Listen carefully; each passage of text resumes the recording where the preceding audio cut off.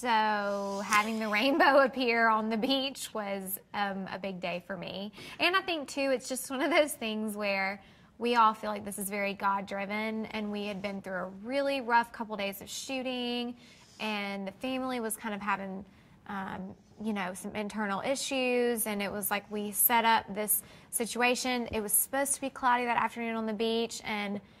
man, we stepped foot on the beach, and it was like, wham, here comes the sun, bam, there's a rainbow.